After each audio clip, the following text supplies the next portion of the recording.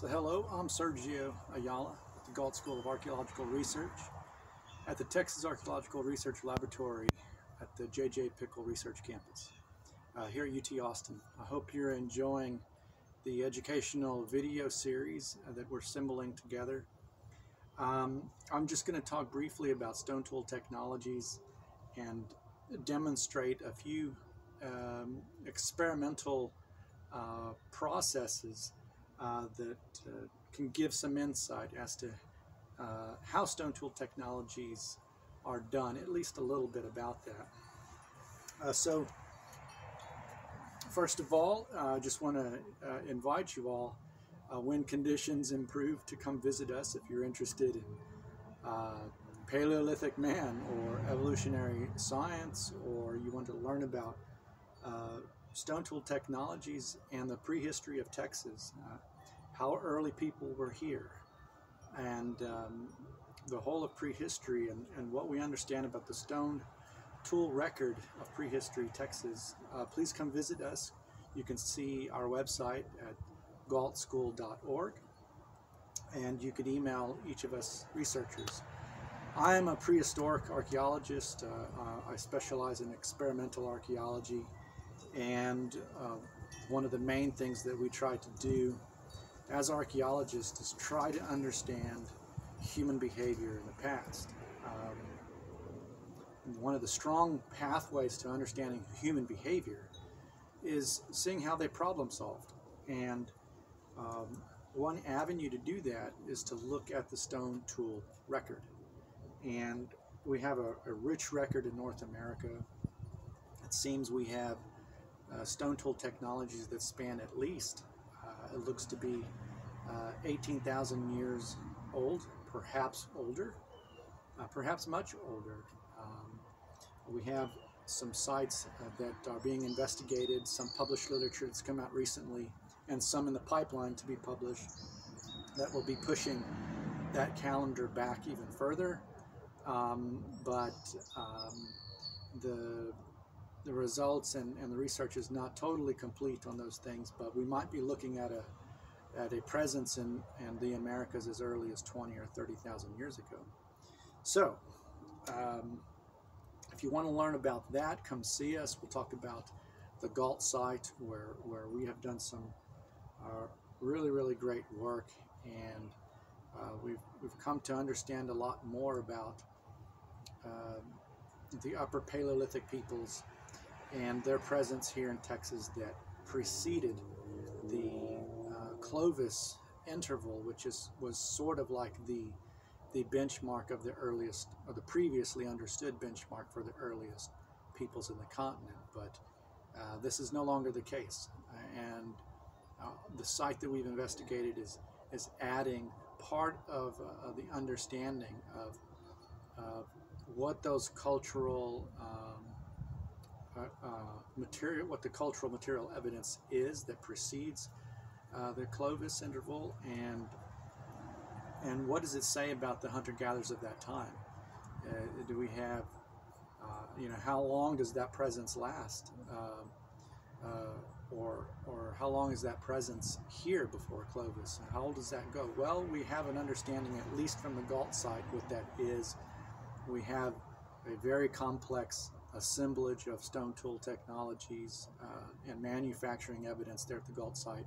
So come see us, uh, call us, or email us, and, and we can even give you a tour of the site. Now, before me here is um, a little bit of a collaborative effort. Um, one of my colleagues, um, Alan Slade, is a Paleolithic archaeologist, uh, and he's uh, he comes from the UK. He's been a part of our team, and he specializes in Clovis technology. And he's he's been building up a, a great uh, a database of, of um, you could say uh, materials related to Clovis technology, particularly products that looks basically like this, these lanceolate biface uh, points. And he asked me to kind of go through the experimental process of demonstrating some techniques. So I'm just going to do a few brief things that kind of uh, give a window to different phases along the manufacturing um, sequence from raw stone material, raw chippable stone, to an actual uh, point form. So just to get that process started, uh, I'm going to take basically a almost completely raw piece of material. It's already been tested and what I mean by that is that it's been chipped a little bit so you can see or so I could see the quality of it on the inside. And yes, I'm getting some protective wear. I don't want to give you some ideas uh, of doing this without protective wear, especially if you're starting out. Um, this stuff fractures like glass. It's very strong, very sharp, and you can get a material in, in your hand or your eye if you're not careful, especially if you're new. Um, so I'm going to put on some eyewear. But in the when we're talking about Clovis technologies, we're kind of talking about a kind of rule system or a manufacturing sequence that is very efficient, very efficient in uh, the way they reduce the mass of something large like this. Let me go ahead and get some leather here. Something as large like this, but very quickly reduce it down um, to a, a, in a bifacial way, meaning you're reducing both faces towards the middle and, and getting a very nice bifacial plane established, but doing that really quickly and efficiently and in a very clean way, hopefully. Um, and then what you wind up with is something that is more along the lines of the kind of like this right here, but going along the sort of like the chain of operations here. Um, and so as you peel the stone towards uh, the, the middle, you start setting up your bifacial plane. There you go, right there. And the Clovis manner is, is efficient because you're doing it not only quickly, uh, cleanly, with very big, large flake removals, but the flakes themselves, because they are large, they can be used also as as tool forms. You can uh, you can use the actual uh, flakes or even spalls, you could say, um, in in the early phases, uh, really large spalls as actual tools. And I can show you an example of that. I've, I've been doing some spalling, like that's a huge spall there. One could make a point right from that uh, spall itself, which was sometimes part of the strategy.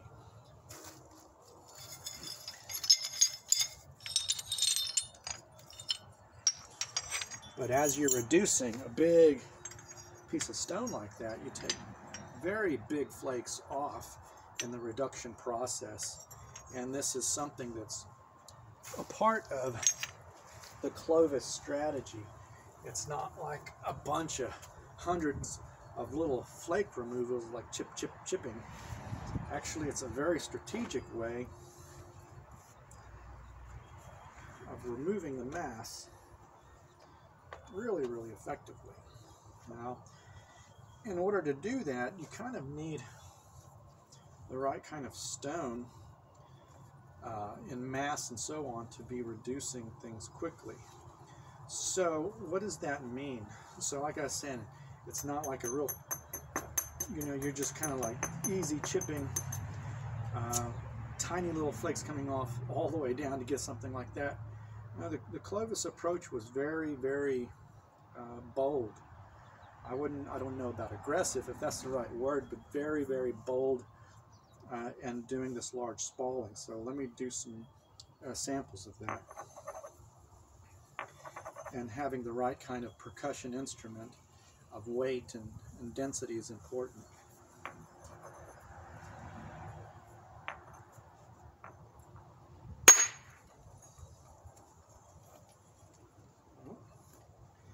That's how you spall. There we go. And begin to reduce a really large mass very quickly.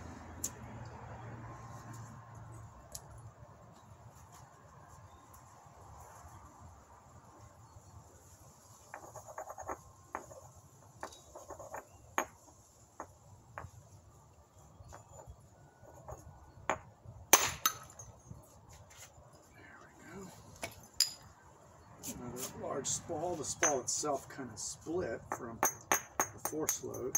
But those are like examples of this kind of percussion. Removing a lot of mass very, very quickly. Very, very quickly. So you got to be successful at your angles. You got to get an idea of what you want to peel off and uh, through experience what is successful and so on.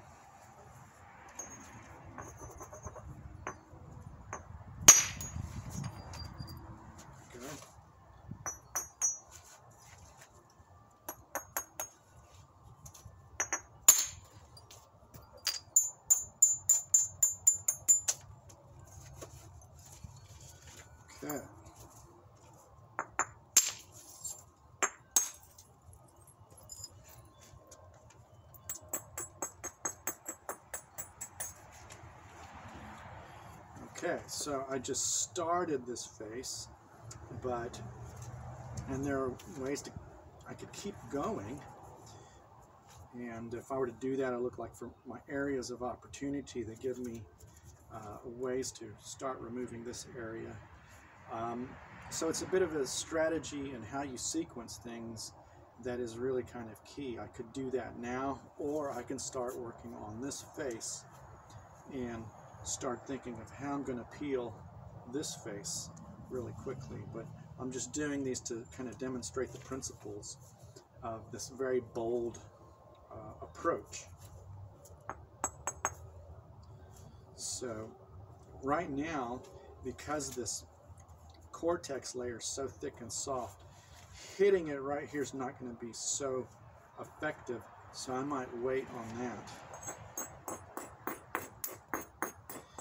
So soft it'll absorb the energy and I won't get a good flake removal.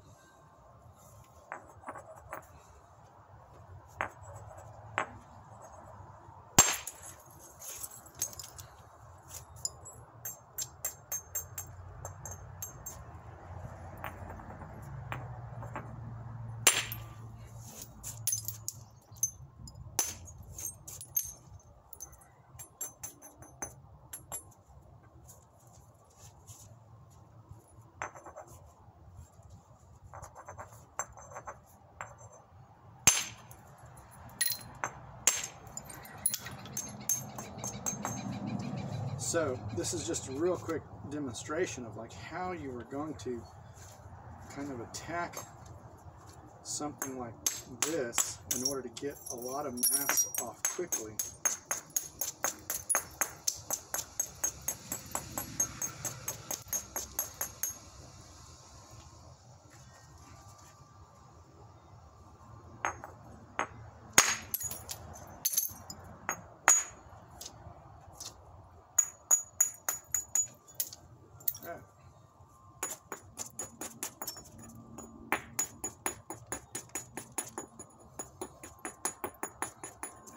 Again, just strategy, of getting my areas of opportunity.